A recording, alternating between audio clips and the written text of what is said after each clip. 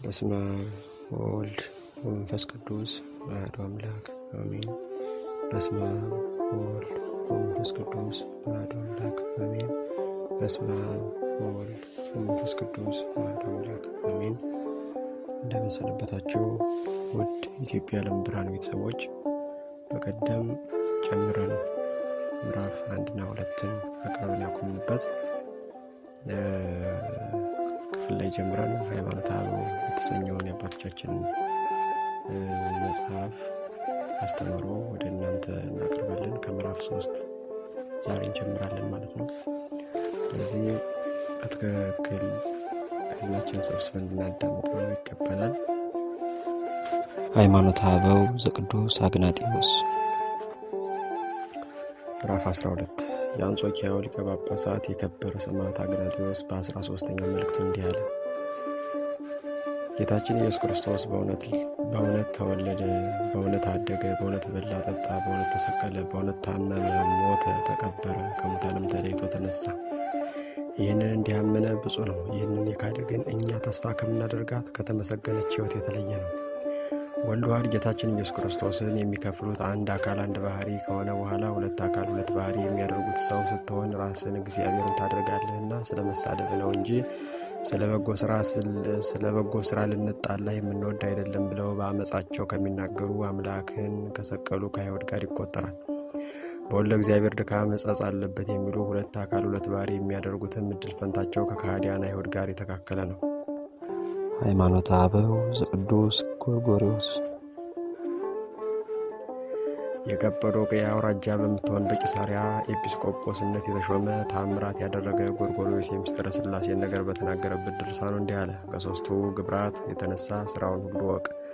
ግብራትም የተባሉ ስሞች ናቸው። ይኸውም ፍጥረት ስም ዘመድ ነው። ሰው ተገዢ ሹም ይባላል። ሰው መባሉ ስለ ባህሪው መገኘት፣ ገብር መባሉ ስለ ተገዥነቱ ነው። መጋቢ መባሉም ስለተሾመ ነው። አሁን ደግሞ አብ ወልድ መንፈስ ቅዱስ እንላለን። ግን አካላት ተቀድመው ተገኝተው ስሞች ኋላ የተጠሩባቸው አይደለም። ሰው ማለትም ኋላ የወጣ ስም አይደለም፣ ባህሪው ነው እንጂ። ስለ ሰዎች ሁሉ ከእነርሱ ለእያንዳንዱ የተለየ ስም አላቸውና እነዚህም አዳም፣ አብርሃም፣ ይስሐቅ፣ ያዕቆብ ናቸው። የሰዎቹ ስማቸውም ይህ ነው። የእግዚአብሔር አቃኒም ስሞች ናቸው። ስሞችም አቃኒም ናቸው። የአቃኒም ትርጓሜው በገጽ በመልክ ፍጹማን የሚሆኑ ባለመለወጥ ጸንተው የሚኖሩ አካላት ማለት ነውና ባህሪው አንድ ሲሆን ሶስቱ አካላት ጸንተው በሚኖሩ በእሊ ስሞች ይጠራሉ። ሶስት አካላት አንድ መለኮት ናቸው። የወልድ አካል ግን ከእኛ ጋር ተዛምዷል። ከተዋሃዱ ከተዋሃዱ ከመለኮትና ከትስብእቱ ከተዋህያዱ ከመለኮትና ከትስብእት ከሁለቱ አንድ ሆኗልና ሁለቱንም አንድ አድርጓቸዋልና በመለኮት በመለኮት የአካል አራተኛ የባህሪ ሁለተኛ ሆኖ የተጨመረ አይደለም። በአካል ሶስት ናቸው እንጂ የሥላሴ አካላቸው ተቀድሞ ስማቸው ከአካላቸው በኋላ የተገኘ አይደለም። ጥንት ሳይኖራቸው ዘመን ሳይቀደማቸው ዘመን ሳይቀድማቸው ከዘመን አስቀድሞ የነበሩ ናቸው እንጂ። ነገር ግን ከሰው ወገን ማንም አያውቃቸውም ነበር። የእግዚአብሔር ልጅ ወልድ ዋሕድ ሰው ሆኖ አባቴ እነሆ ስምን ለሰው ሁሉ ገለጥኩ ይህንም የባህሪ ልጅ እንደሆንኩ ያውቁ ዘንድ ዓለም ሳይፈጠር በነበረ ጌትነት ግለጠኝ ብሎ ካስረዳ በኋላ ነው እንጂ። አብም እንዲሁ በደብረ ታቦር የምወደው ልጄ ነው ብሎ ከመሰከረ በኋላ እንዲሁም ሦስቱ በቅድምና የነበሩ ቀዳማውያን መበላለጥ የሌለባቸው ሮያን እንደሆኑ ያስረዱን ዘንድ በዮርዳኖስ መንፈስ ቅዱስን ካሰደደ በኋላ ነው እንጂ። የወልድ ከአብ መወለዱ የማይመረመር ሊናገሩትም የማይቻል ነው። የማይመረመር ረቂቅ ስለሆነ ግዙፍ ረቂቁን መርምሮ ማወቅ የማይቻለው ነውና የእነርሱንም ነገር ይመረምር ዘንድ አይቻለውምና ከሰው ባህሪ ጋር አይመሳሰልምና ልደቱም እንደ ሰው ልደት አይደለምና ረቂቅ ምስጢር ነው፣ አይመረመርም። በሰው አባለ ዘር አባለ ዘር የሚሆን ልደታችንን ግን አውቀናል። የረቂቅ አምላክ ልደት ከሰው ባህሪ የራቀ ነውና በሰው ሕሊና ተመራምሮ አይገኝም ተመርምሮ አይገኝም። እርሱስ አይለወጥም አያልፍም። የእኛ ባህሪ ግን ይጠፋል፣ ይለወጣል፣ ፈጥኖም ያልፋል። ከሰማይ በታች ከምድር በላይ በአራቱ ማዕዘን በምስራቅ በምዕራብ በሰሜን በደቡብ ተከቦ የሚጨነቅ ሰው እንደምን ያለ ነው? በሰማይ በምድርም በታች ያለ ከሰሜን ከደቡብም በአፋ የሚሆን በቦታው ሁሉ የሚገኝ በሁሉ የመላ ሁሉ የተፈጠረበት የእርሱን ባህሪ መርምሮ ማወቅ ይቻለዋልን? እርሱን መመርመር ከቻልና ካወቅንስ ረቂቅ የሚሆን የእርሱን ገናንነት ባጎደል ነበር። ነገር ግን ከቻልን የሥጋዊውን ምስጢር እናውቅ ዘንድ እንመርምር። ይህም ከልብ የሕሊና መገኘት ነው። እንደምን ነው? ወይም የፍጡራንን ተፈጥሮ እናውቅ ዘንድ እንመርምር። ከአንደበት የቃል መገኘትስ ምን ይመስላል? በእኛ ባህሪ ያሉ ሊህን ማወቅ ካልተቻለን ሕሊናት የማይመረምሩት ያልተፈጠረ የፈጣሪን ምስጢር እንደምን እናውቃለን? ይህን ምስጢር ያውቅ ዘንድ ለሰው ቢገባው ኖሮስ አንድነቱን ሶስትነቱን የተናገረ ወንጌላዊ ዮሐንስ እግዚአብሔርንስ ፈጽሞ ያየው የለም ባላለም ነበር። ማንም ፈጽሞ የማያየውን በማን እንመስለዋለን? ከአብ የተወለደውን ልደትስ ዛሬ ልናውቅ ዘንድ ዛሬ እናውቅ ዘንድ እንደምን እንመረምራለን? እኛስ ነፍሳችን ከስጋችን አንድ ሆና እንድትኖር ፈጽመን እናውቃለን ፈጽመን እናውቃለን። ግን ነፍሱን ፈጽሞ ያየ ማን ነው? ከስጋ ጋር የተዋሃደች ነፍሱን ልይ ብሎ በአይነ ስጋ ያያትስ ማን ነው? ይህንንም ባልን ጊዜ የነፍስን ከስጋ ተዋህዶ መኖርን የምንክድ አይምሰላችሁ። የማታውቅ ለባዊት ነፍስ ከስጋችን ጋር አንድ ሆና በስጋችን እንዳለች አውቀን እናምናለን እንጂ ተግቶ ተፈጥሮውን የመረመረ ከስጋውም ጋር ተዋህዳ ያለች ነፍሱን ያየ ማን ነው? አኗኗሯስ እንደምን እንደሆነ ያወቀ ማን ነው? ነገር ግን ነፍስ ተዋህዳን እንዳለች ይህን ብቻ እናውቃለን፣ በባህሪያችን ያለውን ያላወቅን ምስጢሩንም ያልተረዳን ወልድ ከአብ እንደምን እንደተወለደ እናውቅ ዘንድ እንዴት ይቻለናል? እንዲሁ እንደምን ይሆናል ሳንል ቃል ከአብ እንደተወለደ አውቀን እንመን እንጂ ልደቱ እንደምንም እንደሆነ ለማወቅ አያስተላልፈንም። ከነቅ እንደሚገኝ ነቅ፣ ከብርሃን እንደሚገኝ ብርሃን፣ ከቀዳማዊ አብ የተገኘ ቀዳማዊ ወልድ ከፍጡራን ሁሉ አስቀድሞ የነበረ ነውና። ይህንንም ቃል የተባለውን ስም አተርጋውን፣ ባርፎሪኮን፣ አትሪኮን ከተባሉት ከሶስቱ ቃላት ከሶስቱ ግብራት ለይተን እናውቀዋለን። እሊህ እግዚአብሔር የፈጠራቸው ቃላት ናቸው። በመጽሐፍ እንደተጻፈ በአካል ያሉ አይደሉም። አተርጋውን ወይም የመላእክት ቃል ነው። አተርጋውን የመላእክት ቃል ነው፣ በአካላዊነት ያለ አይደለም። ቦርፎሪኮንም ነቢያት ከእግዚአብሔር ዘንድ የሰሙት ቃል ነው። ይኸውም የትንቢት ቃል ነው፣ በአካል ተለይቶ ያለ አይደለም። አትሪኮን በአየር የሚፈሰው ቃላችን ነው። ከእርሱም ድምፅ ይገኛል። በአካላዊነት ያለ አይደለም። የእግዚአብሔር ቃል ግን የማይለወጥ ረቂቅ ከሆነ ከአብ ባህሪ ተገኝቶ በአካላዊነት ያለ ነው። ይኸውም ከአብ ጋር በቅድምና የነበረ ከዘመን የሚቀድም ቀዳማዊ ነው። ከእርሱም አይለይም። ልደቱ ከእርሱ አያልቅም። ያለመለየት በጊዜው ሁሉ ከእርሱ ጋር ከዘመን አስቀድሞ የነበረ ነው እንጂ ይህን ቃል አካል ባህሪ የላቸውም ብለን እንደተናገርናቸው ቃላት አካል ባህሪ የሌለው አታስመስሉት። እንደ አብ እንደ መንፈስ ቅዱስ በአካል በገጽ ፍጹም ነው እንጂ። ይህ ቃል ሰማያትን ምድርን የፈጠረ ነው። ሁሉ በእርሱ ቃልነት ተፈጠረ እንጂ ያለ እርሱ ምንም ምን የተፈጠረ የለም። ይህ እግዚአብሔር ኃይል ከአባቱ የማይለይ የእግዚአብሔር ክንድ መለየት ከሌለበት ባህሪ ከአብ ጋር ጥንት የሌለው እርሱ ነው። ከእመቤታችን ከንጽሕት ድንግል ማርያም ስጋችንን ነስቶ የተዋሃደው እርሱ ነው። ስጋ ከመሆን በቀር ያለመለየት ያለመለወጥ ከአብ ጋር አንድ ነው። በስጋም ያለመለየት ከእኛ ጋር አንድ ነው።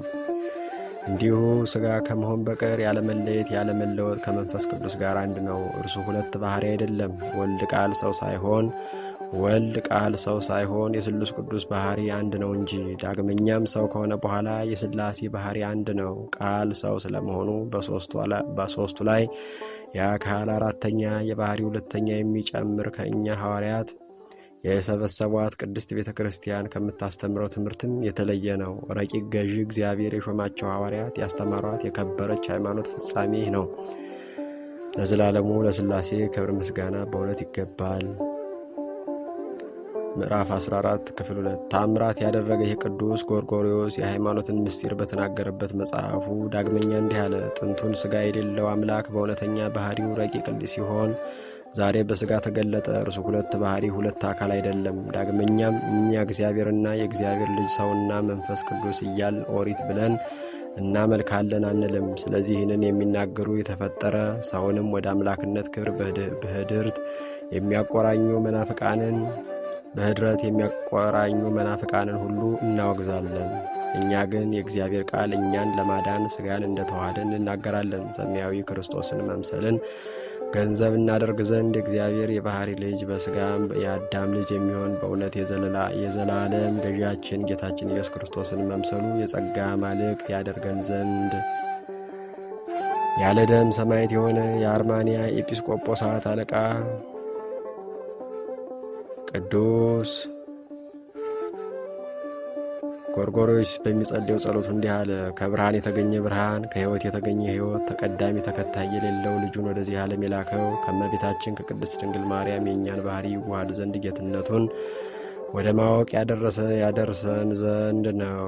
እንደኛ ሰው የሆነ ከቅድስት ድንግል ማርያም ያለ ዘራ ብሲ የተወለደ ይህ ሰው ከሆነም ይህ ነው። ሰው ከሆነም በኋላ አሁንም በጌትነቱ ጸንቶ ያለ ነው። ባህሬ መለኮቱም ሰው ወደ መሆን አልተለወጠም። ስጋን ስለተዋሃደ ሕጸጽ አላገኘውም። ከቸር አባቱ ከመንፈስ ቅዱስም ጋር ከዘመን አስቀድሞ የነበረ ለዘላለሙም የሚኖር ነው እንጂ እኛንም ስለወደደ እንደኛ ሰው ሆነ። የጸጋ ገዢዎች ያደርገን ዘንድ ፈቃዱ ይህች ናትና እርሱ ለቅዱሳኑ ትዕግስትን ሰጠ፣ መከራን ሹመ፣ ሽሙጥን ሞትን ይቀበሉ ዘንድ። ስለዚህ አክብራቸው አናጢዎች ከጠረቡት እንጨት ምስልን ጣዖትን ወደዋልና። ስለዚህ እርሱ በእውነት በሰው ባህሪ ተገለጠ። ምስልን ጣዖትን የሚሰሩ ሰዎች ሁሉ ያዩት ዘንድ የአምላክን መልኩን አይተው ይገዙ ዘንድ። ዳግመኛም በዚህ ጸሎት እንዲህ አለ። ስለዚህ ተቀዳሚ ተከታይ የሌለው ልጅህ ሥጋ ሆነ፣ የሰውንም ባህሪ ተዋሃደ።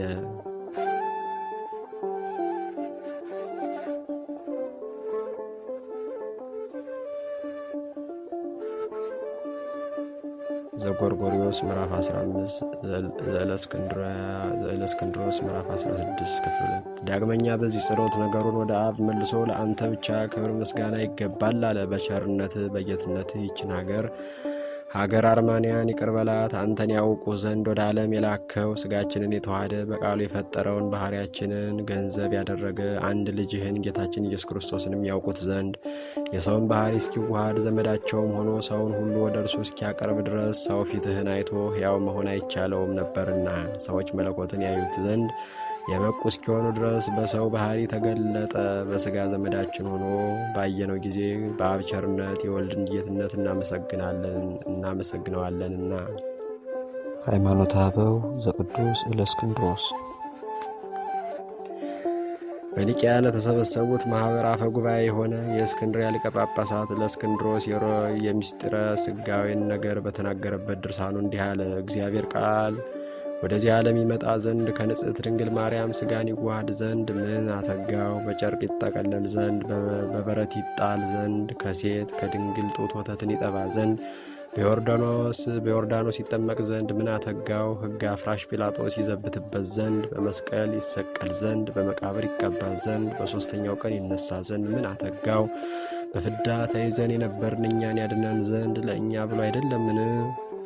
ዳግመኛ የጌታችንን የሕማሙን ነገር በተናገረበት ድርሳኑ ይህ አባት ቅዱስ እለእስክንድሮስ እንዲህ አለ። በእርሱ ለማይነገር ለዚህ እንግዳ ምስጢር አንክሮ ይገባል። ፈራጅ እርሱን ፈረዱበት። ከማይሰራ ኃጢአት የሚፈታ እርሱን አሰሩት። ዓለምን የያዘ እርሱን ያዙት።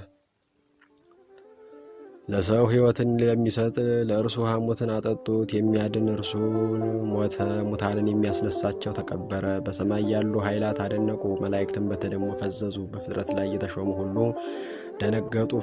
ፍጡራንም ሁሉ አደነቁ። አይሁድም ገዢው እነሆ አሉ። እርሱ ግን ዝም ብሎ መከራ ተቀበለ።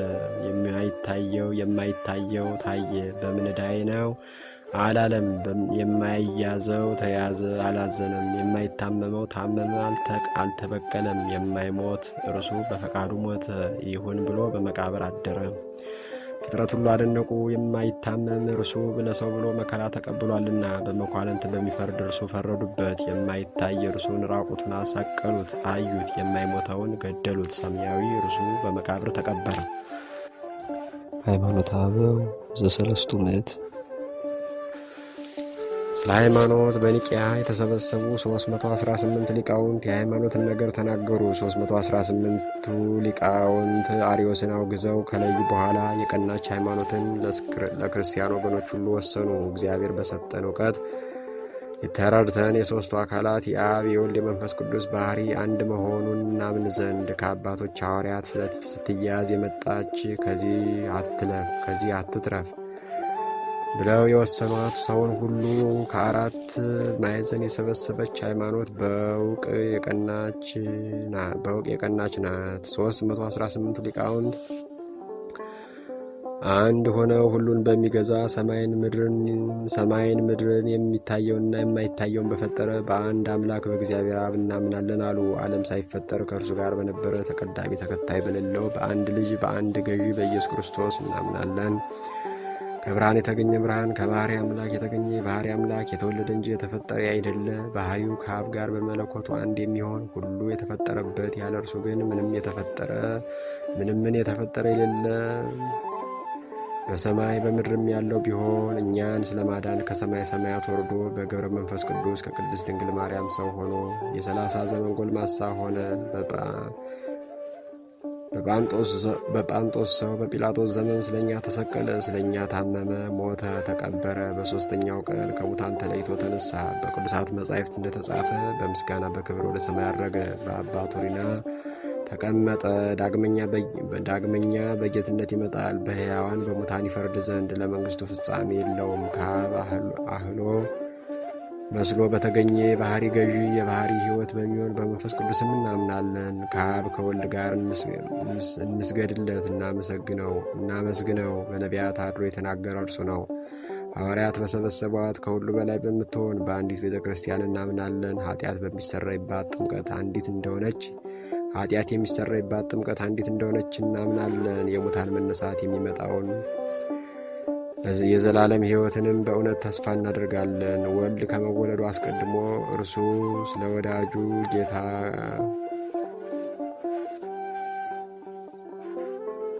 ጌታ ቀን ነበረ የሚል ቢኖር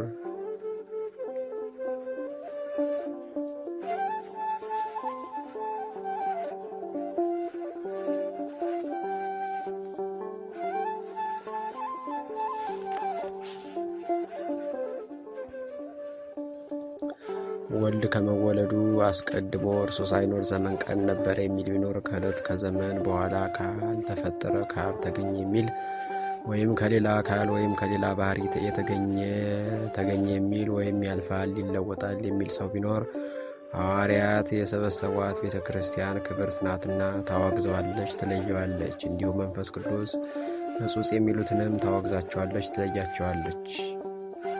ቅዱሳን አባቶቻችን ኤጲስቆጶሳት በኒቄ ሀገር የወሰኗት ሃይማኖት ይች ናት። የመሰባሰባቸው ምክንያትም የእግዚአብሔር ልጅ ፍጡር ነው ያለ አሪዮስን፣ መናፍቃንንም ሁሉ ፎጢኖስን ወይም ዳህራዊ ስላለ ጳውሎስ ሳምሳጤን ህድረት ስላለ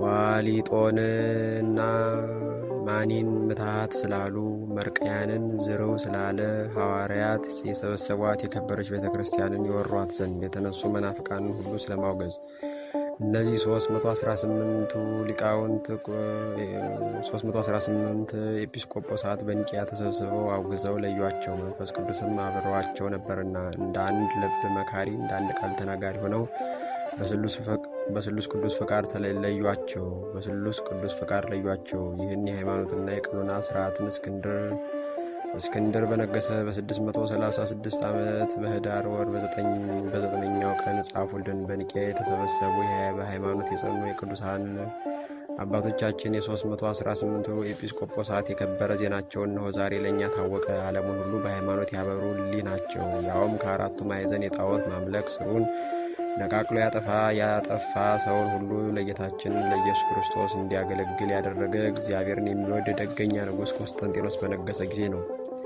ያን ጊዜ ከሃዲው አርዮስ ለዘላለሙ የሚመሰገን ጌታችን ኢየሱስ ክርስቶስን ነቅፎ ፍጡር ነው ብሎ የክህደት መጽሐፍን ጽፎ ወደ ቆስጠንጢኖስ ሄደ። እግዚአብሔርን የሚወድ ንጉሥ ቆስጠንጢኖስ ይህን መላልሶ ሲናገር ከቃሉ በሰማ ጊዜ የረከሰች የዚህ ከሃዲ አርዮስ ሃይማኖትና ከአርጌንስና ከቦርፎሪስ ክህደት የማትርቅ መሆኗን አውቆ የዚህ ከሃዲ አርዮስ ክህደት ጎልቶ ስለተሰማ በእግዚአብሔር ትእዛዝ ኤጲስቆጶሳት ይሰበሰቡ ዘንድ ንጉሥ አዘዘ። የእስክንድርያው ሊቀ ጳጳሳት ቅዱስ ለእስክንድሮስ አዋጁን በሰማ ጊዜ በሊቃውንት መሰብሰብ እጅግ ደስ አለው። ደጉ ንጉሥም ጉባኤው የጽርዕ ክፍል በምትሆን በታላቂቱ ሀገር በኒቅያ ይሆን ዘንድ አዘዘ። የእግዚአብሔር ኃይል ያደረባቸው ከኃጢአት ከክደት የተለዩ 318ቱ ኤጲስቆጶሳትን በዚያ ተሰበሰቡ። በጉባኤ መካከልም አራት መንበር ዘረጉ። አንዱ መንበር ለሮም ሊቀ ጳጳሳት ነው፣ አውሳኒዎስ ወይም ዮናክንዲኖስ። ሁለተኛው መንበር ለእስክንድሪያ ሊቀ ጳጳሳት ነው፣ ለእስክንድሮስ። ሶስተኛው መንበር ለኤፌሶን ሊቀ ጳጳሳት ነው፣ ሶል ጴጥሮስ። አራተኛው መንበር ለአንጾኪያው ሊቀ ጳጳሳት ነው ኤዎስጣቴዎስ። ንጉሥ ቆስጠንጢኖስ እነርሱ ወዳሉበት ገብቶ ከመካከላቸው በዙፋኑ ተቀመጠ። በምድር የነገሰ እርሱ ደግ ንጉሥ ነውና የሚያጸና የሚያነጻ መንፈስ ቅዱስን በጉባኤያቸው ነበረ። የእግዚአብሔር ኃይል ያደረባቸው ቅዱሳን አባቶቻችን ኤጲስቆጶሳትም እስኪጽፉልን ድረስ በአንድ ስምምነት በበጎ ጸጥታ ከእግዚአብሔር በሚሰጥ ትዕግስትና መመረጥ ነበሩ። እሊህ 318ቱ ኤጲስቆጶሳት እግዚአብሔር አብ ልጁ ወዳጁ ጌታችን ኢየሱስ ክርስቶስ የሚያድን የሚያጸና የሚያነጻ መንፈስ ቅዱስ ስለገለጠላቸው በኅዳር ወር በዘጠነኛው ቀን ይህን የሃይማኖት ስርዓት ይህንንም የሐዋርያት ትምህርት ወሰኑልን። የጻፏት የወሰኗት ሃይማኖትም ይህች ሁሉን በሚገዛ የሚታየውን የማይታየውን ፍጥረትን ሁሉ በፈጠረ በአንድ አምላክ በእግዚአብሔር አብ እናምናለን። ከአብ በተወለደ ተቀዳሚ ተከታይ በሌለው በእግዚአብሔር ልጅ በጌታችን በኢየሱስ ክርስቶስ እናምናለን አሉ። ይኸውም ከአብ ባህሪ የተገኘ ነው። ከባህሪ አምላክ የተገኘ ባህሪ አምላክ፣ ከብርሃን የተገኘ ብርሃን፣ የተወለደ እንጂ ፍጡር አይደለ። ከአብ ጋራ በጌትነቱ ከብርሃን የተገኘ ብርሃን፣ የተወለደ እንጂ ፍጡር አይደለ። ከአብ ጋር በጌትነቱ የተካከለ ሁሉ በእርሱ ቃልነት የተፈጠረ ያለ እርሱ ምንምን የተፈጠረ የሌለ በሰማይ በምድር ያለውም ቢሆን ሰው ሆነ። ስለ እኛም ተሰቀለ፣ ታመመ፣ ሞተ፣ ተቀበረ። በሦስተኛውም ቀን ከሙታን ተለይቶ ተነሳ። በምስጋና ወደ ሰማይ አረገ። በሕያዋን በሙታን ይፈርድ ዘንድ በጌትነት ዳግመኛ ይመጣል። በመንፈስ ቅዱስም እናምናለን አሉ። ወልድ ከመወለዱ አስቀድሞ እርሱ ሳይኖር ዘመን ቀን ነበረ። ስለዚህም ካልተፈጠረ ከአብ ተገኘ የሚል ወይም ከሌላ አካል ወይም ከሌላ ባህሪ ተገኘ የሚል ወይም እርሱ እንዲለወጥ የሚናገር ቢኖር ሐዋርያት የሰበሰቧት ቤተ ክርስቲያን ክብርት ናትና ትለየዋለች። የሕያው ጥበብ ኃይል የሚሆን የአካላዊ ቃል አባቱ በአካላዊነት ያለ ከፍጹም አባት የተገኘ ፍጹም ልጅ ያለው እግዚአብሔር አብ አንድ ነው አሉ። አብም አንድ ወልድን የወለደ ነው። ከአንድ ከአብ ብቻ የተገኘ እግዚአብሔር ቃል አንድ ነው። እግዚአብሔር ቃል አብም በመልክ የሚመስለው በባህሪ የሚተካከለው ነው። ያ ቃል ስራውን ሁሉ የሚገልጽ ጥበብን፣ ኃይልን፣ ፍጡራንንም ሁሉ የፈጠረ ነው። ከእውነተኛ የባህሪ አባት የተገኘ እውነተኛ የባህሪ ልጅ ነው። ከማይታይ የተገኘ የማይታይ፣ ከማይለወጥ የተገኘ የማይለወጥ፣ ከማይሞት የተገኘ የማይሞት፣ ከቀዳማዊ የተገኘ ቀዳማዊ ነው። እግዚአብሔር አብ በሁሉ ላይ በሁሉም በምልአት ያለ ነው። እግዚአብሔር ወልድም በሁሉ ላይ በሁሉም በምልአት ያለ ነው። እግዚአብሔር መንፈስ ቅዱስም ከአብ የሰረጸ አንድ አካል ነው። ሕይወትንም የሚያድል ነው። በሁሉ ላይ በሁሉም በምልአት ያለ ነው። ስሉስ ቅዱስ ለዘላለሙ በአንድ መለኮት ፍጹም ነው። እግዚአብሔር አንድ ነው። የማትከፈል የማትፋለስ መንግስትም አንዲት ናት። ከሥላሴ ምንምን ፍጡር ዳህራዊ የለም። በእርሱ አንዱ ለአንዱ መገዛት የለም። አብ ከወልድ ተለይቶ የኖረበት ዘመን የለም። ወልድም ከመንፈስ ቅዱስ ተለይቶ የኖረበት ዘመን የለም። መንፈስ ቅዱስም ከአብ ከወልድ ተለይቶ የኖረበት ዘመን የለም። ስሉስ ቅዱስ በዘመኑ በቀኑ ሁሉ በግብርም በስምም ሳይለወጥ ሳይፋለጥ ጸንቶ ያለ ነው እንጂ ጥንት የሌለው ቀዳማዊ ልጅ ያለው እግዚአብሔር አብ ብቻ ነው። ዳግመኛ እርሱ ወልድም አይመረመርም፣ ማንም መርምሮ አያገኘውም። አብ ከዘመን በኋላ አልወለደውም። እርሱ ቀዳማዊ ወልድ ከአብ ጋር በቅድምና የነበረ ነው እንጂ የማይሞት ነው። ከማይሞት ከአብ ጋር ፈጣሪ ነው። እንደ አብም ሁሉን የፈጠረ ነው። እንዲሁም መንፈስ ቅዱስም ከአብ ከወልድ ጋር በቅድምና የነበረ ቀዳማዊ ነው። በስራውም ሁሉ ከአብ ከወልድ ጋር አንድ ነው። ጉባኤ የቆመለት ቤተ ክርስቲያን የተቀበለችው ሐዋርያት ያስተማሩት እውነተኛ ትምህርት ይህ ነው። አምነውበት ጸንተውበት ይኖሩ ዘንድ የተነገረው ነገር ሁሉ በየክፍሉ ያለው ምክንያቱ ምን እንደሆነ ያውቁ ዘንድ ላልተማሩት እውቀት እንድትሆን አባቶቻችን በኒቅያ የወሰኗት በኒቅያ የወሰኗት የደነገጓት የከበረች ሃይማኖት ይህች ናት። በውስጡም ያመኑበት የኤጲስቆጶሳት ዜና ተጽፏል። ቁጥራቸውም 318 ነው። ይህም ማኅበር ከአራት ማዕዘን በብዛት ተሰበሰበ። ዳግመኛም ይህን ግዝት ሊጽፉ ጀመሩ። የነ ሰባሊዮስን የረከሰች ሃይማኖት እናወግዛለን፣ እንረግማለን አሉ። አብ ወልድ ነው፣ መንፈስ ቅዱስም ነው፣ ወልድም አብ ነው፣ መንፈስ ቅዱስም ነው፣ መንፈስ ቅዱስም አብ ነው፣ ወልድም ነው ብለው የሥላሴ አካል ነው ስም ግን ሶስት ነው የሚሉ የእነ ሰባሊዮስን የረከሰች ሃይማኖት እናወግዛለን አሉ። አንድ አካል ሶስት ስም የሚሉ እነዚህ ከኛ የተለዩ ከሃይማኖታችን የወጡ ናቸው። እኛ ግን አብን አብ እንደሆነ እናውቀዋለን፣ ወልድንም ወልድ እንደሆነ እናውቀዋለን፣ መንፈስ ቅዱስንም መንፈስ ቅዱስ እንደሆነ እናውቀዋለን። አንድ አገዛዝ፣ አንድ መንግስት፣ አንድ ባህሪ ናቸው። የወልድ መገኘት ከማርያም ወዲህ ነው፣ ከዚህ አስቀድሞ አልነበረም፣ በመለኮቱ ከማርያም ወዲህ የተገኘ ነውና የሚሉ የነ ፎጢኖስን ሃይማኖት የያዙትን እናወግዛለን። እነዚህም ከሃይማኖት የተለዩ እንደሆኑ እናውቃለን። እኛስ ከአብ ጋር የነበረ በአብም ሕልው የሚሆን የእግዚአብሔር ልጅ በዘመኑ በቀኑ ሁሉ ቀዳማዊ እንደሆነ እንናገራለን። ሐዋርያት አስቀድመው እንደጻፉ ወልድ ከአብ ጋር ሳይኖር ዘመን ቀን የለም፣ በዘመኑ በቀኑ ሁሉ ነበር እንጂ። ለአብ በዘመኑ በቀኑ ሁሉ ልጅ አለውና፣ ወልድም የማይለወጥ አባት አለውና አብ ለወልድም የማይለወጥ አባት አለውና አብ ከወልድ ተለይቶ ይኖርበት አለ። ኖሮ ኖሮ አባት ተባለ ይሉ ዘንድ አይገባም። ይኸውም መራባት ነው። አብ በዘመኑ ሁሉ በአባትነት የኖረ ነው እንጂ ወልድም በዘመኑ ሁሉ በልጅነት የኖረ ነው እንጂ እርሱ እንደተወለደ እንጂ እንዳልተፈጠረ አስቀድመን እንደተናገርን እንደ አብ በቅድምና የነበረ ቀዳማዊ ነው። ሐዋርያት ስለ አብ፣ ስለ ወልድ፣ ስለ መንፈስ ቅዱስ አስቀድመው እንደጻፉ መንፈስ ቅዱስ የእግዚአብሔር እስትንፋስ ያልተፈጠረ ፍጹም አካላዊ እስትንፋስ እንደሆነ እንዲህ እናምናለን። ይህን የሰራ በነቢያት አድሮ የተናገረ በሐዋርያት አድሮ ያስተማረ ወልድ ፍጹም ሰው ስለመሆኑ በወንጌል እንደተጻፈ በዮርዳኖስ በርግብ አምሳል በመድኃኒታችን ራስ ላይ የተቀመጠ እርሱ ነው። ወልድ በዘርአ ብእሲ ያይደለ በግብረ መንፈስ ቅዱስ አምላክን ከወለደች ከእመቤታችን ከቅድስት ድንግል ማርያም ፍጹም ሥጋን እንደተዋሃደ እንዲህ እናምናለን። በዘርአ ብእሲ አይደለም፣ በእውነት ነፍስንና ሥጋን የተዋሃደ ነው። አስቦ የቀረ አይደለም። እንዲህ ሰው ሆኖም ሰውን ፈጽሞ ያድን ዘንድ ታመመ፣ ሞተ፣ ተቀበረ። በሦስተኛውም ቀን ከሙታን ተለይቶ ተነሳ። ወደ ሰማይ አረገ። አንድ አካል አንድ ባህሪ ሆኖ በአባቱ ሪና ተቀመጠ። ዳግመኛም በሕያዋን በሙታን ይፈርድ ዘንድ ባረገበት በክበበ ትስብእት ይመጣል። በአጭር ቁመት በጠባብ ደረት መወሰኑ በሚነገርባቸው አምላክ በአጻፋቸው መጻሕፍት እንደተፈጠረ በሚናገሩ አናቅጽ ነገሩን ነገሩን ሰው ስለመሆኑ የተነገረ ፍጹም ሆኖ እናገኘዋለን። ዳግመኛም የሥጋን መነሳት የማያምነውን እናወግዛለን። ዳግመኛም የሥጋን መነሳት የማያምነውን እናወግዛለን፣ እንረግማለን። ይህችንም ሃይማኖት የማያምኑ መናፍቃንንም ሁሉ አውግዘናል፣ ረግመናል። የረከሰች የአርሳኒዮሳውያን የአርዮሳውያንን ሃይማኖት አስቀድመው የጻፉትን አውግዘናል፣ ረግመናል። እኛስ ቃል ወልድ ለእግዚአብሔር እንደተወለደ እንዳልተፈጠረ አምነን እንናገራለን። እነዚያ መናፍቃን ግን የእግዚአብሔር ልጅ አካላዊ ቃል ፍጡር እንደሆነ ተናገሩ። ዳግመኛ በብዙ ወገን ሃይማኖትን ፍጹም እናደርግ ዘንድ በዚህ እናምናለን። ጥምቀት አንዲት እንደሆነች የሥጋ ትንሣኤ፣ መንግሥተ ሰማያት፣ የዘላለም ሕይወት፣ የዘላለም ኩነኔ እንዳለ እናምናለን እንላለን። በእግዚአብሔር አብ፣ በእግዚአብሔር ወልድ፣ በእግዚአብሔር መንፈስ ቅዱስ እናምናለን። አብ አይመረመርምና ወልድም አይመረመርምና መንፈስ ቅዱስም አይመረመርምና አይታወቅምና አይወሰንምና ቦታም አይወስነውምና የእግዚአብሔር የባህሪ እስትንፋስ ነው። አስቦ ወዶ የቀረ አይደለም። በአምሳለ እሳት ታየ። በነቢያት በጻድቃንም አድሮ ተናገረ። እንዲህም አዳም፣ ኖህ፣ አብርሃም፣ ሙሴ፣ ኢያሱ፣ ሳሙኤል፣ ዳዊት፣ ኢሳይያስ፣ ኤርምያስ የቀሩ ነቢያትም ናቸው። ብሉይን ሐዲስን የሠራ አምላክ እርሱ ነው።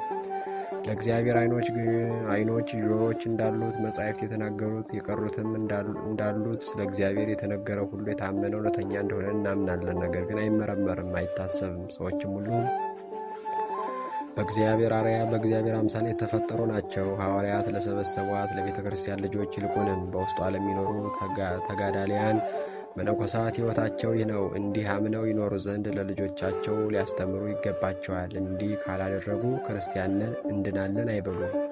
ነገር ግን ጸጋን የሚያድል የእግዚአብሔር ፈቃዱ የሥጋ ሕይወት በምትሆን በነፍስ አዋቆች እንሆን ዘንድ ነው። አውቀን ብናምንበት የእግዚአብሔር ልጆች ለበጎ ሥራ ማደሪያ መሳፈሪያ፣ በጎን የምንወድ ክፉን የምንጠላ እንዲህ ለሕጉ የምንቀና እንሆናለን።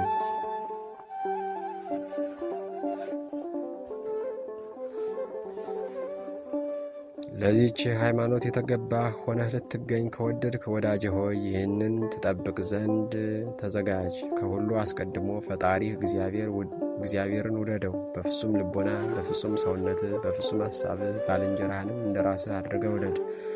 ነፍስ አትግደል፣ ወደ ጎልማሳ ሚስት አትሂድ፣ አትሴስን፣ ጽንስ አታስወርድ፣ ስራየኛ አትሁን፣ አትስረቅ፣ በሐሰት አትመስክር አትበድል። ሳይባረክ የሞተውን ከመብላት ተከልከል። በአሽክላ በወጥመድ ታንቆ የሞተውንም ከመብላት ተከልከል። ከዚች ሃይማኖት ትወጣ ዘንድ ማንም ማን እንዳያስትህ እወቅ፣ አስተውል። ያለዚያ ግን ከእግዚአብሔር የተለየ ትሆናለህ። የታወቁ ኃጣው እሊህ ናቸው፣ ያልታወቁ ጥቃቅን ትእዛዛትም አሉ።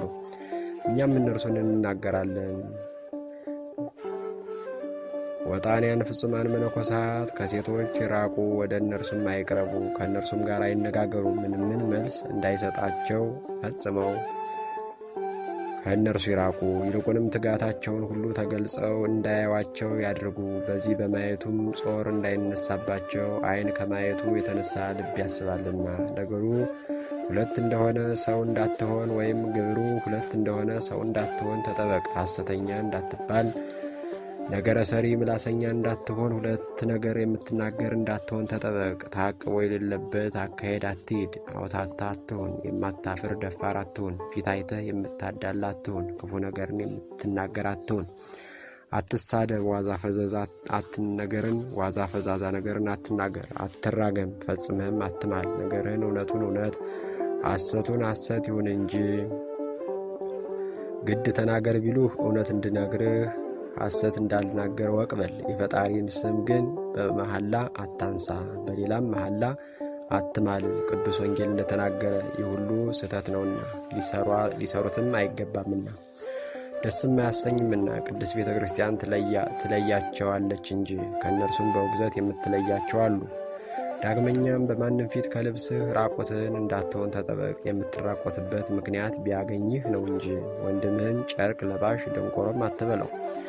ከአሕዛብ ጋር በበዓላቸው አንድ አትሁን። ቀዳሚት ሰንበትን እንደ ክርስቲያን እንጂ እንደ አይሁዳዊ ልማድ በጥንቃቄ አከብራለሁ አትበል። ጠንቋይ፣ ስርማሽ፣ ቅጠል በጣሽ አትሁን። ደዌ ባገኘ ጊዜ፣ አውሬ በነከሰ ጊዜ፣ ምች በመታ ጊዜ ታመህ ሳለህ ማንም ማን ይህንን ያደረገ ያደርግልህ ዘንድ አትውደድ። የአጋንንትን ስም እየጠሩ ወደሚረጩ ሰዎች አትሂድ። ደግመው ይረጩ ዘንድ ክታብ ጽፋችሁ ስጡኝ አትበል። ቅጠሉን ነክረው ዘፍዝፈው የሚጠመቁበትን አጥምቁኝ አትበል። ለራስህም ለሌላም ቢሆን አንተ አትስራቸው።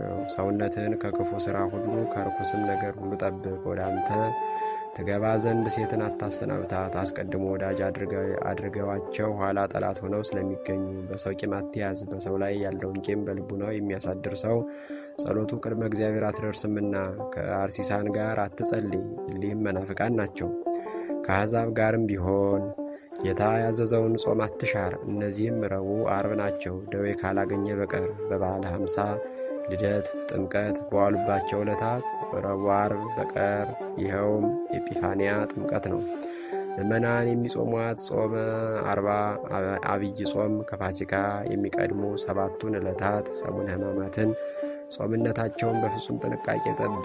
አንተ ሰውነትን ለማድከም በምትጾምባቸው ዕለታት ወንድምህ ሊጠይቅ ቢመጣ እግዚአብሔርን ደስ በምታሰኝ በበጎ ሕሊና በፍቅር ሆነ ከእርሱ ጋር ተመገብ። ይህንንም የምነግርህ የጌታ ጾም በሆነበት ዕለታት ትበላ ዘንድ አይደለም። እሊህም ረቡዕና አርባውም ወይም አብይ ቀን ናቸው። አንተ ብቻ በራስህ ፈቃድ በምትጾማት ቀን ነው እንጂ ይኸውም ሰኞ፣ ማክሰኞ፣ ሐሙስ ነው። በቅዳሜ ቀን ግን መጾም አይገባም። በቅዳሜ ቀን ፀሐይ እስኪገባ መጾም የሚገባ ስራ አይደለም። የሚገባ ጊዜ አለ እንጂ እስከ ስድስት ያም ባይሆን እስከ ሰባት በእሁድ ቀን በጠዋት እጅግ ማልደህ ከሌሊቱ ወደ ቤተ ክርስቲያን ሂድ። ስትሄድም ልቡናን በማባከን ወዲያና ወዲህ አትይ። በንጹሕ ቅዳሴም ጊዜ ሕማሙን፣ ሞቱን፣ ትንሣኤውን እያሰብክ በፍጹም ፍርሃት ቁም። የአርብና የረቡዕ ጾም ከቀኑ እስከ ዘጠኝ ሰዓት ይሁን። ከዚህ አብልጠ ብትጾም ግን ለነፍስህ ጥቅም ይሆንሃል። የማሰናበቻ ጸሎት እትው እስኪፈጸም ድረስ ከቤተ ክርስቲያን አትውጣ። ሕማም ቢያገኝህ ነው እንጂ ድንገተኛ መንገድ ቢሆን ነው እንጂ። ሁለት ሁለት ቀን መጾም ቢቻልህ በዚህ ብትጸና ጾምህ በትሕትና ይሁን። ልብህ አይታበይ። ትዕቢት ሰይጣን ያለማው ጦር ነውና ትዕቢት ሰይጣን ያለማው ጦር ነውና በእርሱም ሰይጣን ከልዑል ማዕረጉ ተዋርዷልና በትዕቢቱ አሽክላነትም የሰውን ልጆች ሁሉ ያጠምዱበታል። እንደ እርሱ ወደ ገሃነም ሊያወርዳቸው ይፈቅዳል። በከበረች በእሁድ ቀን መቼም መች ትጾም ዘንድ ማንም አያስትህ፣ አትስገድባት። በዋዜማው በቅዳሜም ቢሆን ዳግመኛም በከበረች በፋሲካ ቀኖች በበዓለ ሃምሳ አትስገድ። ቅዳሴ በሚቀደስበትም ጊዜ ሁሉ ሥጋውን ደሙን ከተቀበልክ በኋላ አትስገድ። ይህ ሥራ ከሥርዓተ ቤተ ክርስቲያን የተገኘ አይደለምና። በሰንበት ቀኖችም እንደ ሌሎች ቀኖች አትጹም። ጌታችን ኢየሱስ ክርስቶስ ስኩብ በመቃብር ሆኖ ከነበረባት ድህነት የተደረገባት ከፋሲካ ዋዜማ ካለች ከአንዲት ቅዳሜ ቀን ቀዳም ስዑር በቀር እሁድና ቅዳሜን የሚጾም የመርቅያን ክህደቱ ልቡናህን አያስትብህ። በቅዳሴ ጊዜ ቸል አትበል። ሰውነትህን ለከበረ ለሥጋው ለደሙ የበቃ አድርግ። የበቃህ ሳትሆን ከእርሱ እንዳትቀበል ጽኑ ፍዳ እንዳይፈረድብህ። ወንድሞች ወደ አንተ በመጡ ጊዜ እግራቸውን ማጠብን ቸል አትበል። ይህችን ሥራ ቸል የሚሏትን ስለዚህ ትእዛዝ ሥላሴ በፍዳ ይመረምሯቸዋልና። ምንም ኤጲስቆጶሳትም እንኳ ቢሆኑ እግዚአብሔር አስቀድሞ የደቀ መዛሙርቱን እግር አጥቦ እንዲሁ ያደርጉ ዘንድ አዟቸዋልና። ገንዘብ ብር የምትወድ አትሁን። ወርቅ ብር ልታደልብ አትውደድ። ለኑሮህ፣ ለልብስህ፣ ለምግብህ የሚበቃ ያህል በመጠን ይሁን እንጂ ገንዘብን የሚወዱ እግዚአብሔርን ደስ ማሰኘት አይቻላቸውምና። ፈጽመ ንግድ እንዳትነግድ እንዳታስነግድ በአውቀህ ተከልከል። ለዘር ለተክል የሚሆን ምድር እርሻ የሌላቸው ብዙ አገሮች አሉና ለቁመተ ሥጋ ያህል ይነግዱ ያስነግዱ ዘንድ በእነዚያ የሚኖሩትን ሰዎች ግድ ያሻቸዋል እንጂ መነኮሳት ካልሆኑ ግን ቢነግዱ አያስቀስፋቸውም፣ አራጣ አይቀበሉ እንጂ። መነኮሳት ሆነው ቢነግዱ ግን በመከራ የሚገኘውን ክብር ለማግኘት የተቀበሉትን የተቀደሰ ማዕረጋቸውን አዋረዱ። ዓለማውያን ሰዎች ቢነግዱ የሚያስነቅፋቸው ከሆነ መነኩሴማ ሲነግድ ሲያስነግድ ቢገኝ ምን ያህል ያስነቅፈው ይሆን? ዓለማውያን ሰዎች ግን ግድ ቢሆንባቸው ዘር ተክል በሌለበት አገር የሚኖሩት ይነግዱ። አስቀድመን እንደተናገርን አራጣን አይቀበሉ።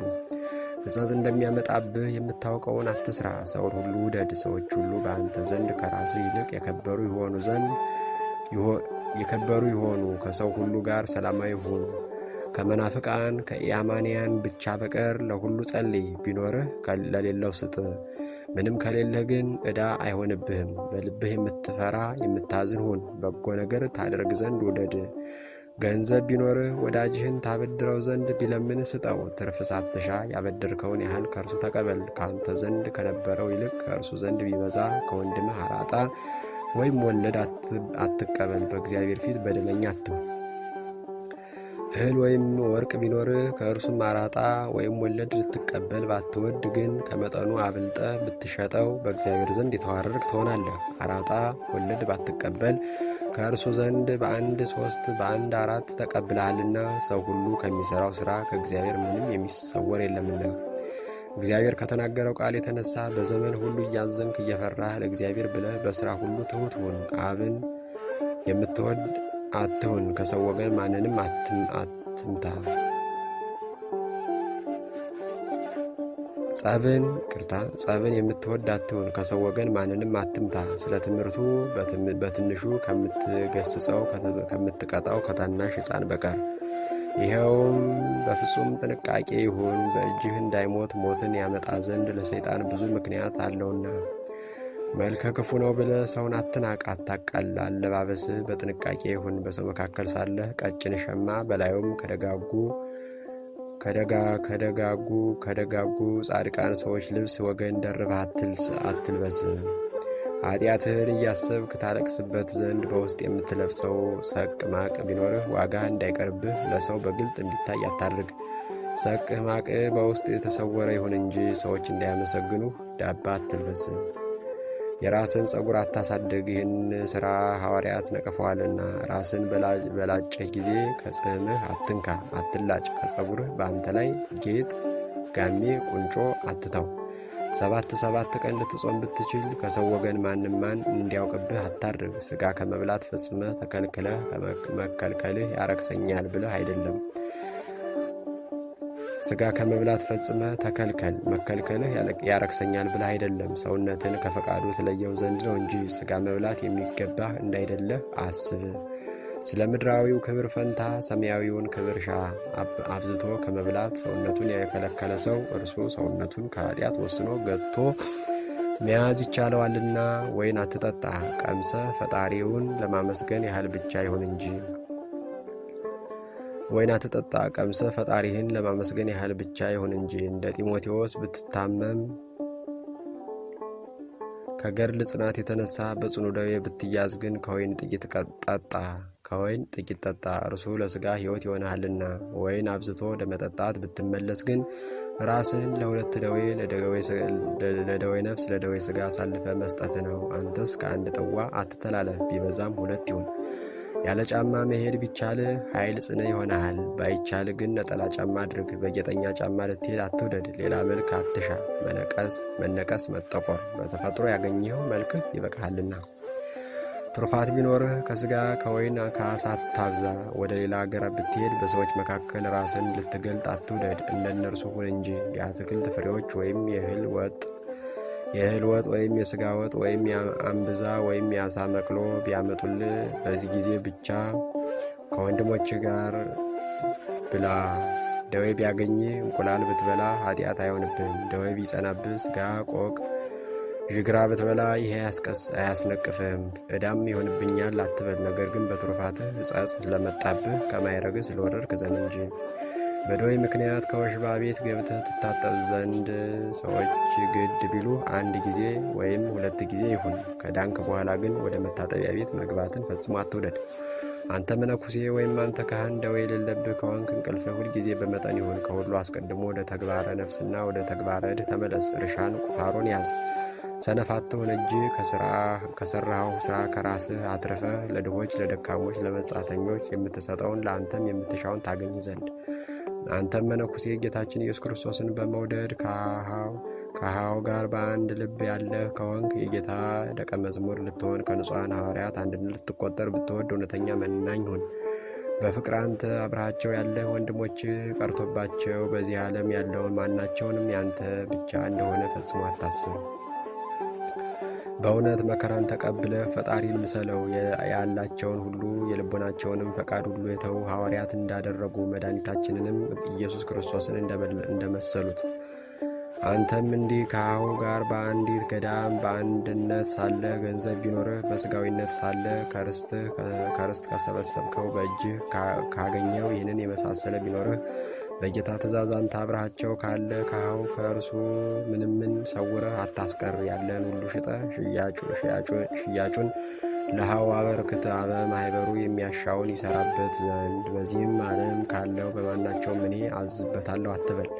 ነፍስህን ለማዳን ጻር ትጋ እንጂ ናፍቆትህ አእምሮትህ አንተ ናፍቆትህ አእምሮትህ አንተ ተስፋ ተስፋ ወደምታደርጋት እንድትወርሳትም ወደምትመኛት ወደ መንግሥተ ሰማያት ይሁን። የሐዋርያትን ሥራ በሚናገር መጽሐፍ ያመኑ ሁሉ እንደ አንድ ቃል ተናጋሪ እንደ አንድ ልብ መካሪ ሆነው ይኖሩ ይኖሩ እንደነበረ እንደነበረ ከእነርሱ ወገን ከገዛው ገንዘብ ሁሉ ይህ የኔ ነው የሚል እንዳልነበረ ተጽፏል። በአላቸው በአላቸው ገንዘብ ሁሉ መላው አንድ ነበሩ እንጂ ከእነርሱ ወገን እርሻ ቤት ያላቸው ሽጠው ዋጋውን ከሐዋርያት እግር በታች አፈሱት ነበር። ሐዋርያትም ከእነርሱ ለእያንዳንዱ የሚሻውን ይሰጡ ነበር። በአንድነት ሳሉ አሃው እርሻ ቢኖር የማኅበሩን እርሻ ለማረስ የሚተጋ ለአሃው ፍሬ ትሩፋትን እንደሚሰበስብላቸው ይሆናል። ነገር ግን በእነርሱ ዘንድ የሚገፋ ይሁን። አንተ መነኩሴ ከሰው ተለይተህ ብቻህን የምትኖር ብትሆን የተሻለህን ያህል ለሁሉም ምጽዋትን ከመስጠት ቸል አትበል። ያን ጊዜ በእውነት ሰርተህ በድካምህ ካገኘው ይሁን። በአራጣ በግፍ በንግድ በቅሚያ በስርቆት የመጣ ያደራ ከብትም አይሆን። ሰርተህ የደክመህ ካገኘው ብቻ ይሁን እንጂ ከሃው ከአሃው ጋር በአንድነት ያለህ ብትሆን የማይገባ ሰርተህ ማይረግህን አታስነቅፍ። ይችም እግዚአብሔር እንደሚወደው ሆኖ መታነጽ አይደለችም። እግዚአብሔር እንዳይፈርድብህ ጻድቃንም ከሚኖሩበት አስወጥቶ እንዳይሰድህ። ከአሃው ጋር በአንድነት ብትኖር ለአንተ ብቻ የሆነ እርሻ ወርቅ፣ ብር ቢኖርህ ወንድሞችህ ያላገኙ ከዚህ ዓለም ገንዘብ ማናቸውም ካለህ ቢኖር መናኒ አልሆንክም። ይህን ዓለም ፈቃዱንም በእውነት አልናቅኸውም። አንተ ዘበት ካጋንንትም ዘበቱብህ እንጂ በገዳም ከሃው ጋር በአንድነት ብትኖር ሰነፍ አትሁን። ሌሎች ወጥተው ወርደው ይርዱኝ አትበል። በሃው ጽኑ ሸክም እንዳታከብድባቸው ራስን ረድተህ የምትኖርበትን ተግባረድ መማር ይገባሃል። የዕለት ምግብ ታገኝ ዘንድ ከሌላው ጋር የዕለት ምንደኛ ሆነ ስራ። ከዚህ ዓለም ሰዎች ጋር ብትኖር ከሁሉ አስቀድሞ ትሑት ሁን። በምንም በምን መምህር ነኝ ልትል አትውደድ። በነፍስ በስጋ የሚድኑበት አንተም ከእነርሳቸው ጋር የምትድንበት ቢሆን ነው እንጂ በአንተ መምህርነት የዳኑ ብዙ ነፍሳትን ብታይ ወጥቶ ወርዶ አምስቱን አስር ያደረገ የባለ አምስቱን ምናን ስራ ልትፈጽም ብትወድ በአንተ መምህርነት ውስጥ ላሉ ነፍሳት ትጋ። በምግብ ጊዜና በቅዳሴ ጊዜ ሁሉ እያንዳንዱ ወደ ማዕዱ ቦታ ማለት ወደ ጉባኤ ቦታ ወደ ጉባኤው ቤት ፈጥነው እንዲሰበሰቡ ደቀ መዛሙርትህን አጽናቸው። ነገር ግን በዚህ ብቻ አይሰብሰቡ፣ ከሃው ሁሉ ጋር በሚሰበሰቡበት ጊዜ ይሰብሰቡ እንጂ። ከሃው አንዱም አንዱ የራሱን ልብስ ተጎናጽፎ ለብቻውን ይተኛ። ከእነርሱ አንዱም አንዱ በተኛ ጊዜ ልብሱን በልብሱ ውስጥ የሚያደርገውን ሰቁን፣ ማቁን፣ ወገቡን የሚታጠቅበት መታጠቂያውን በአጠገቡ ያኖር ዝግጁ ሆኖ በሌሊት በሚጸልበት ጊዜ ያገኛቸው ዘንድ መዝሙረ ዳዊትን፣ ስብሐተ ሙሴን፣ መንፈሳዊ ማህሌትን በማለትም በሌሊትም መላልሰው በሚጸልዩበት ጊዜ ከአሃው ጋር ለጸሎት የምትተጋ ሁን። ከመጠኑ አብዝተ ጩኸ አትጸልይ። አሃው ስራ እንዳይፈቱ ቀስ ቀስ ብለ ጸልይ እንጂ። የምትሰራው ስራ ሁሉ በልክ በመጠን ይሁን። ከአሃው ጸሎተ ማህበር ከጸለዩ በኋላ ወደሚያድሩበት ቦታ በተመለሱ ጊዜ ልብህ የእግዚአብሔርን ፍቅር ቢያስብ ያለማቋረጥ ጸልዩ። በስራው ሁሉ አመስግኑ ያለውን የሐዋርያትን ቃል ፈጽም። ለልጆችህ አርምሞን፣ ጸጥታን፣ ዝምታን አስተምራቸው። ሰነፍ አትሁን። ወደ ሃኖት ፈጽመ አትሄድ። ይኸውም የሥጋ ገበያ ነው። ወደ መሸታ ቤት አትሄድ። ይኸውም የእንግዳ ማደሪያ ነው። እንግድነት በሄድክበት ብቻ ነው እንጂ የምትበላውንና የምትጠጣውን ብትሻ የሚገዛልህን ስደድ የሚገዛልህን ስደድ። አንተ ግን በቤተ ክርስቲያን አርፈህ ቆይ። ባረፍክበትም ቦታ ብላ ጠጣ። ቤተ ክርስቲያን ወደሌለበት ሃይማኖቱም የቀና ሰው ወደሌለበት ቤት ብትሄድ ወደ እንግዳ ማደሪያ ትሄድ ዘንድ ግድ ቢሆንብህ ሴት ወደሌለችበት ቦታ ሄድ። ወደ ሥጋ ገበያ ግን አትሄድ። ወደ እንግዳ ማደሪያም ብትሄድ ልብህ ያዘነ የተከዘ ይሁን። ከመናፍቃን ከመናፍቅ ጋር እንዳትጸልይ ተጠበቅ። ከዚህ ሁሉ አንተ ራስህ ወደህ ተጠበቅ። ይህ ትእዛዝ ለመነኮሳት፣ ለካህናት፣ በትሩፋት ለሚጋደሉ፣ ጾምን ለሚያዘወትሩ፣ በሕግ ኑረው ለመነኮሱ፣ በድንግልና ለጸኑ፣ በንጹሕ ግቢ ላሉ ክርስቲያን ሁሉ ነው። ከካህናት ወገን የክህነትን ስርዓት ሊያውቅ የሚወድ ይህን ትእዛዝ በፊቱ አድርጎ ሁልጊዜ ይመልከት። አንተም ካህን ሆይ የተሰራ የተቀጣ ሆነህ ኑር። ምንም ምን ክፉ አትስራ። ከእግዚአብሔር ቃልም የተነሳ እየፈራ እየተንቀጠቀጥክ ኑር። ምስጢሩን በማስተዋል የምታነብ ሁን። በጌታችን በኢየሱስ ክርስቶስ በቸር አባቱ በመንፈስ ቅዱስ ያመንክባትን የቀናች ሃይማኖትን ጠብቅ። ካህን ሆይ ከሁሉ አስቀድሞ ከሴቶች ጋር ከመገናኘት ራቅ። ከእነርሱም ጋር በቦታ እንዳትሆን አትስነፍ። ወደ ቤተ ክርስቲያን መሄድንም አታቋርጥ። በቤተ ክርስቲያን ዋዛ ፈዛዛ የሚናገር ሰው ቢኖር በደሉ በተሾመው ካህን ላይ ይሆናል። የሚፈረድበትም የበደለ ብቻ አይደለም፣ ኃጢአት ሲሰራ አይቶ ዝም ያለውም ነው እንጂ። እርሱ የበደለ ሆኖ አይደለም፣ አይቶ ዝም ስላለው ነው እንጂ። እነሆ በኃጢአቱም መሰለው፣ በአንዲት ፍርድም ይፈረድባቸዋል። እግዚአብሔር አገልጋይ ካህን ሆይ መባ ስለሚያገቡ ሕዝብ መንቃት ይገባል። ለመብል ብለህ ማዕረግህን አታዋርድ። ልበ ደንዳና ከሆነ ሰው መባ አትቀበል። ከሚሰርቅም ማንጥረኛ ቢሆን ስለ ትርፍ በሐሰት ከሚምል ነጋዴም ቢሆን ትንሣኤ ሙታንን ከሚክድ ፈርሰው በስብሰው ይቀራሉ ከሚል ሰዱቃዊም ቢሆን የሚሹትን አልሰጣቸው ብሎ አገልጋዮቹ ከሚከሱት ባለጠጋም ቢሆን አትቀበልም። ከሌባም ቢሆን ንስሐ ካልገባ ነፍሰ ገዳይም ቢሆን ግብሩን ትርፉን መጨመርን ካልተወ ከቀራጭም ቢሆን በሴሰኝነት ካለች ዘማም ቢሆን በሚዛን ከሚሰርቅም ቢሆን እህል እያለው ከማይራራ ከእርሱ ለሚለምን ብድር እንኳ ከማይሰጥ ሰውም ቢሆን ጣዖት ከሚያመልኩም ቢሆን ከስራየኞችና ከጠንቋዮችም ቢሆን አትቀበል። ኮከብ የሚቆጥሩ ጋኔን ከሚጠሩም ቢሆን ኮከብ ከሚቆጥሩ ጋኔን ከሚጠሩም ቢሆን በሰይጣናዊ እውቀት እንዲሆናል ከሚሉ አዋቆች ነን ባዮችም ቢሆን ከእነዚህ መባ አትቀበል። በመብል በመጠጥም ከእነርሱ አትተባበር። ክፉ ከመስራት ከማይታገሱ አመፀኞች መባ አትቀበል። ከወንጀለኞች፣ ከሴሰኞች፣ ከመናፍቃን የወርቅ የብር የብረት ምስል ቀርጸው አፍስሰው ጣዖት ከሚሰሩም ቢሆን ከቀን ወራሪዎች ከሌሊት ሰባሪዎችም ቢሆን አትቀበል። ከሰካሮችም ቢሆን ለባህሪያቸው ለባህሪያቸው የማይገባውን ከሚሰሩም ከሚቀበሉም ቢሆን ከሐሰተኞች መምህራን በወፍ ከሚያሟሩትም ቢሆን መባ አትቀበል። አሁን ከተናገርናቸው ከሌሎች ኃጥአንም ቢሆን መባ የሚቀበል ለእግዚአብሔር የሚገባውን መባ ወደሚያቀርቡበት መሰዊያ የተከለከለውን ዓይኑ የታወረውን እግሩ ያነከሰውን ቃብ የያዘውን በግ ለመስዋዕት ያቀርብ እንደነበረው መስዋዕቱን እንዳሳደፈው እንደ ኦሪቱ ካህን መሆኑ ነውና እንዲህ ያለው ካህን እግዚአብሔርን በክህነቱ ደስ አያሰኘውም። ሕዝባዊ ሆይ አንተ ግን ስለ መስዋዕት አቀራረብ ካህኑን ልትነቅፈው ስልጣን የለህም። ካህኑ እንዲህ ያለ ስራ ሲሰራ ብታየው ሸሽተ ወደ ሌላ ቦታ ሄድ እንጂ አትንቀፈው፣ አትዝለፈው። ካህን አስቀድመን የጻፍናቸውን እነዚህን ትእዛዛት ቢጠብቅ ከስህተት ሁሉ ቢጠበቅ በሃይማኖት በንጽህና በትሩፋት በበጎ ስራ ጸንቶ ቅዱሳን ሐዋርያት እንደ ፈጸሙት ስርዓቱን ቢፈጽም ፍጹም ክብር ታላቅ ማዕረግ ከእግዚአብሔር ይሰጠዋል። ታላቅ ማዕረግ ከእግዚአብሔር ይሰጠዋል። አስቀድመን የተናገርናት የጻፍናት የሃይማኖት ትእዛዝ ይች ናት። ይህን ትእዛዝ ብትሰራ ሃይማኖትን ብትጠብቅ አንተ ከቸር አባቱ ከመንፈስ ቅዱስም ጋር ክብር ምስጋና ገንዘቡ የሚሆን የጌታችን ኢየሱስ ክርስቶስ ሐዋርያ ትሆናለህ። ዛሬም ዘወትርም ለዘላለሙ አሜን። አስቀድመን የተናገርነውን ይህን ትእዛዝ የሚያፈርስ ሰው ሁሉ የእግዚአብሔር ተቃዋሚ ነውና ይህ ሰው እግዚአብሔር በአጻፋቸው መጻሕፍት ይህንን ይመርምር፣ በቤተ ክርስቲያን መዛግብት ውስጥ የሚመልከት ያን ጊዜ ይህን ሁሉ እግዚአብሔር እንዳዘዘን ያውቃል።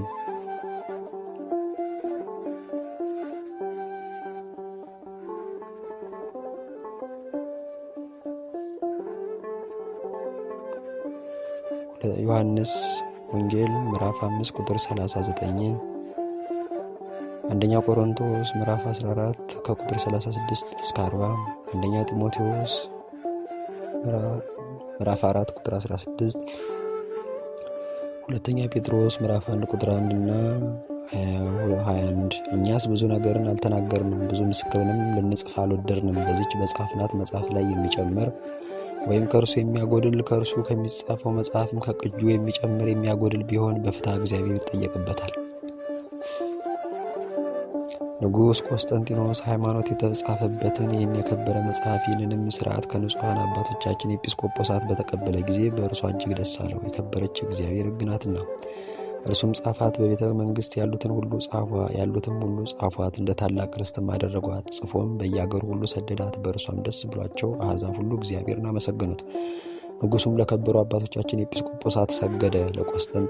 ለቆስጠንጥንያ መንበር የሊቀ ጵጵስና ማዕረግ ይሰጠው ዘንድ ለመናቸው ይሰጠው ዘንድ ለመናቸው። የርሷ ኤጲስቆጶስ ሊቀ ጳጳሳት ይሆን ዘንድ ርዕሰ ኤጲስቆጶሳትም ተብሎ ይሾም ዘንድ ዳግመኛ እንዲሁ የኢየሩሳሌም ኤጲስቆጶስ ሊቀ ጳጳሳት ይባል ዘንድ ለመናቸው።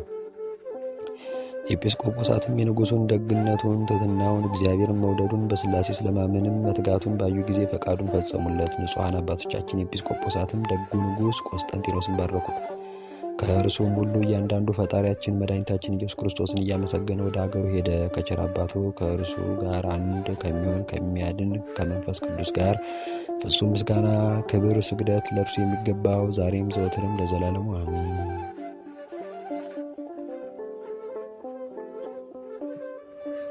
ኢትዮጵያ የሥላሴ ክብራቸው መገለጫና መመስገኛ ምድር፣ ኢትዮጵያ ርስተ ድንግል ማርያም፣ ኢትዮጵያ የዓለም ብርሃን፣ ኢትዮጵያ የዓለም ገዢ አነሳስቶ ላስጀመረን አስጀምሮ ላስፈጸመን ለልዑል እግዚአብሔር ክብርና ምስጋና ይሁን።